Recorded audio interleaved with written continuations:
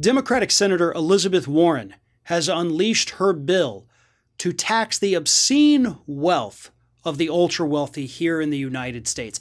It would tax their net worth above $50 million at 2%. 2%, right?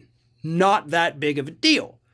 But I can guarantee you that America's wealthy elite are collectively um, soiling themselves at the thought of having to pay 2% additional taxes on their net worth above 50 million. And net worth is the key here, right? This is not income. This is not what you make in any given year. This is what you have as a human being. If it's over 50 million, 2% to the federal government. And of course, she says we're doing this now because obviously we're at a time when the government has to spend a lot of money to help American citizens. So this is the perfect time to go ahead and introduce this piece of legislation. And by the way, she's right about that. Her legislation here is broadly popular. Majority of Americans do support this wealth tax. The problem is we have been conditioned as Americans, uh, thanks to Republican talking points, to think that any kind of tax increase is somehow bad.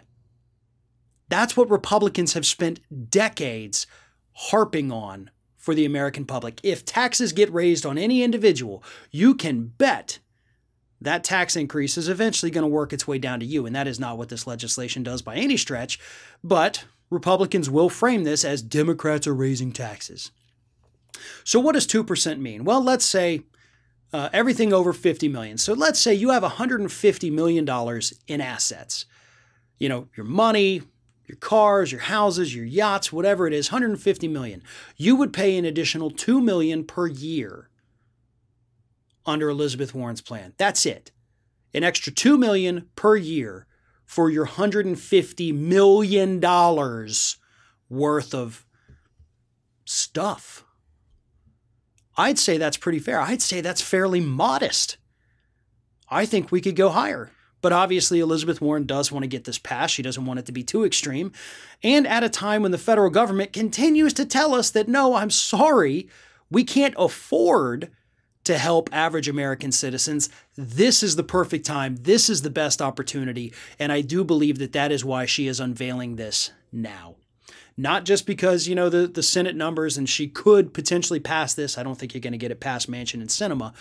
But because of the fact that we are being routinely told week after week that the government simply doesn't have the money to help us. Republicans are being told that. Democrats are being told that. Everybody's being told that. So this is a perfect time for Elizabeth Warren to come out and say, hey, I think I know where we can get the money to help you. It just means that we're going to have to take the super rich and make them pay slightly more in taxes every year. And if you can't get behind that, then you've either been brainwashed by Republicans or you're one of those people with over $50 million in net worth. Either way, I have no sympathy for you.